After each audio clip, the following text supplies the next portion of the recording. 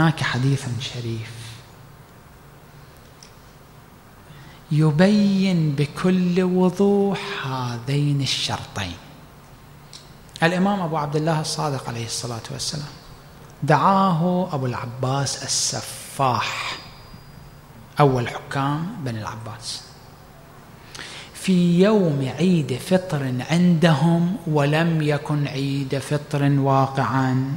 لم يكن عند الإمام الصادق عيد فطر. كان من شهر رمضان. تعلمون طريقة هؤلاء أن يتقدموا على المؤمنين وعلى طريقة أهل البيت في أعيادهم. لا علينا بهم. دعاه أبو العباس السفاح في يوم عيد عندهم. ذهب الإمام عليه الصلاة والسلام. فعرض أبو العباس السفاح على الإمام أن يفطر. الإمام يعلم هذا اليوم من شهر رمضان.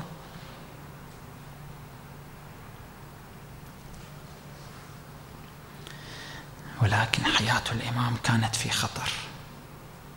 فقط حياة الإمام في خطر؟ لا أكثر من ذلك.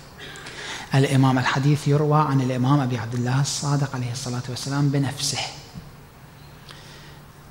يقول الإمام كما يروى عنه في هذا الحديث يقول عليه الصلاة والسلام فأكلت معه وأنا أعلم والله أنه يوم من شهر رمضان. نحن القضايا عندنا سهلة. نعتقد بعصمة أهل البيت. أي شيء صنعوا فهو الصحيح. لو أكثر من هذا صنعوا صحيح. الراوي ما كان بهذا المستوى. استغرب. الإمام الصادق يقول أنا أكلت وأنا أعلم والله أنه يوم من شهر رمضان. سأل من ذلك كيف؟ فقال عليه الصلاة والسلام إفطاري يوما وقضاؤه أيسر علي من أن يضرب عنقي ولا يعبد الله.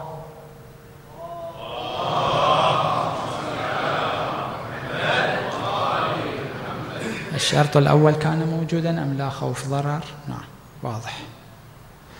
الشرط الثاني استعمال التقية كان هو الأهم. نعم. البعض يقرأ الرواية. أنا سمعت من البعض يقرأ الرواية إلى حد أيسر علي من أن يضرب عنقي. لا التتمة أهم. الإمام يقول أنا في هذا اليوم لو كنت ما أفطر أترك الإفطار. أصوم كان هذا الطاغي يضرب عنقي والنتيجة أن دين الله يذهب ولا يعبد الله. إخواني كل إمام له فترة يلزم أن يؤدي دوره قبل أن ينتهي من دوره. دور الإمام التالي بعد لم يبدأ. دين الله يذهب. لو أن رسول الله صلى الله عليه وآله كان يقتل قبل وقت استشهاده كان دين الله يذهب. بعد الدور لم يصل إلى دور أمير المؤمنين. النبي صلى الله عليه وآله يوصل هذه الرسالة من الله سبحانه وتعالى إلى هذا الدور. بعد ذلك لا يهمه أن يقتل أو لا. أمير المؤمنين لو كان يقتل ويستشهد قبل يوم استشهاده كان الدور بعد لم يصل إلى دور الإمام المجتبى عليه الصلاة والسلام. دين الله كان يذهب. هكذا بالنسبة إلى كل إمام إمام.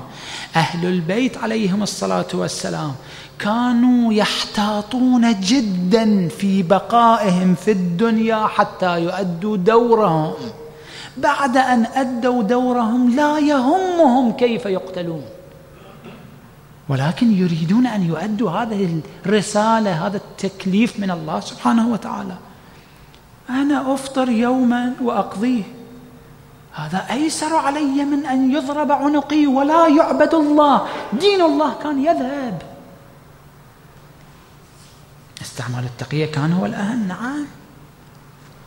بدون استعمال التقية دين الله كان يذهب.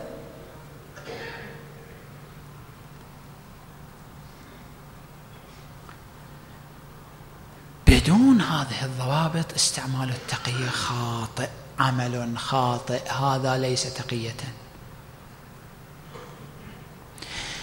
ولذا الفقهاء متفقون على أن التقيه لها أحكام خمسة. أحيانا التقيه تكون واجب أحيانا تكون مستحبه أحيانا تكون مباحة أحيانا تكون مكروهة أحيانا تكون محرمة.